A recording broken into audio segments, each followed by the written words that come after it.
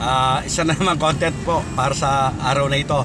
Ah, nagkaroon po tayo ng pagkakataon na magagawa ng content dahil meron po tayong poging ah, pilot for today.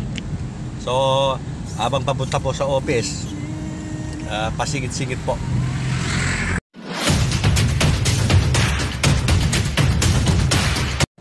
At yes po, ang content ko po sa araw na ito ay patungkol na naman po sa mga ah, bagay o mga taong sumisira po sa ating hobby. Ah, napakarami na po mga ka-coiners ang napa, naapektuhan ng mga ah, scammer, mga fake coin vloggers. Unang-una po na naapektuhan ay yung mga kapatid po natin na maliliit na legit na ah, buyer seller yung pong nasa buy and sell ah, permanent man ah, permanent man or yung ah, tinatawag po na partially partial o yung ah, paminsan-minsan lang. Ah, talagang naapektuhan na po sila. Ah, ito nga po yung kagagawan ng mga hinayupa na ito ng mga fake coin baggers Ah, ah, yun nga, merong nag-post na naman na common USBI.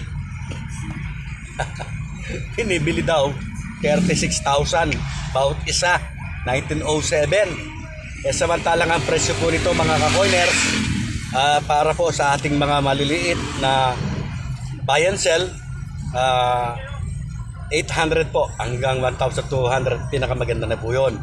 So kapag nabili po ni ka-coiner sa halagang 700 pesos yan at ibinenta sa halagang 750 pesos, tuwang-tuwa na po siya at may 50 pesos na siya. Ang nakakalungkot nito dahil nga po napanood itong anima, itong mga kolokoy na ito, ayan nasira po ang presyohan ah, ng mga USBI coin. At ganun din, ah, yung mga common na ah, mga barya po natin na nasa sirkulasyon pa. Ito, gasgas na gasgas. Yung mga ano ngayon ang ginagamit sa panluloko ay yung mga commemorative coins po na napaka-common lamang. At uh, mayroon pong mabibili sa mga yan sa BSP naka-blister pack pa. Brilliant uncircul- uncirculated sa halagang 200 piso lamang. Eh samantalang sila binibili daw 2,500 ang bawat isa Ewan ko po Ah, sa halip na mabawasan ang mga ito, lalo pong dumadami. Ito ngayon ang nangyayari. Habang nga, nga, nga itong mga parehas na, na nag-aahanap buhay sa pamamagitan ng buy and sell, yun nga po, hindi na sila kumikita dahil sa kagawan, kagagawan ng mga punghang na ito. Eh samantalang sila, nakapulot lang ng isang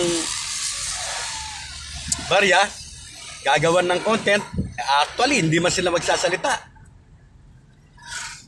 Ha? Kakapi lang sila, kakakapi-paste lang sila ng details ng barya. Lalagyan ng konting sound. At ah, ilalagay lang sa thumbnail, binibili, binibili nila. Yun, kumita na sila. Nakapanloko na po sila. Karap. Ah, kaya't ang ginawa po ng ating mga pobreng ah, mga maliliit na buy and sell, ah, ayan po, nagparapol na lamang sila. Idinaan na lamang po sa rapol o parapol ah, yung kanilang mga barya na dapat sana ay ibenta. Ah, dahil nga po sa kagagawa ng itong mga hunghang na ah, fake vlogger na ito, ayun nga po, nagkaroon po ng ah, maling impression yung mga tao na nakapanood sa kanila ang akala nga nila, yun nga po, napakataas ng halaga ng hawak nilang barya. So, hindi na nakakabili ah, sa bababang presyo ng mga barya itong ating mga legal o legit na ah, buy and sell. Ang problema,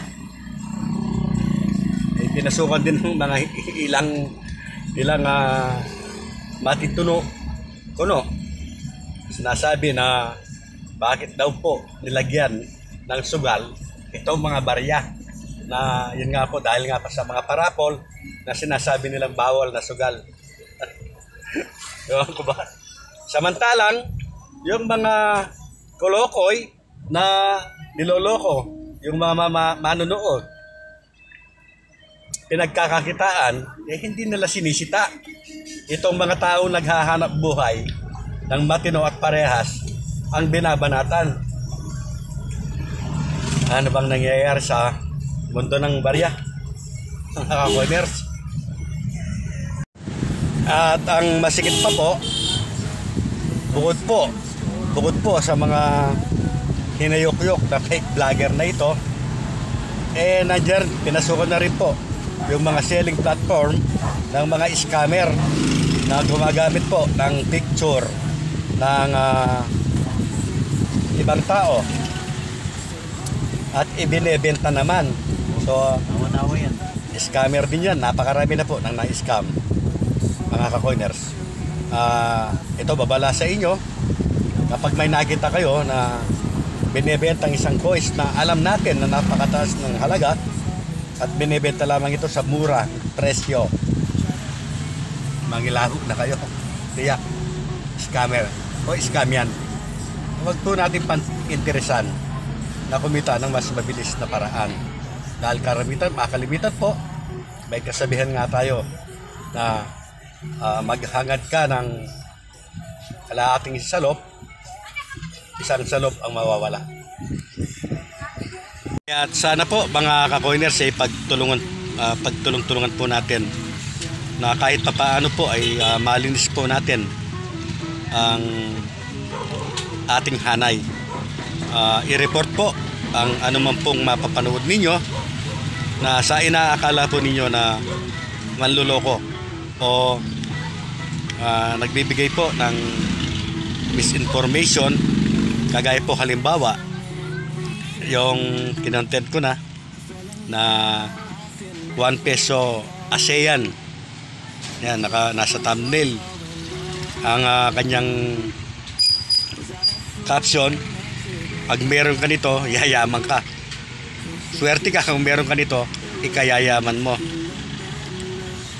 Pero wala naman siyang sinasabi paano kayayaman kung meron ka noon. Yan po mga clickbaiter na manloloko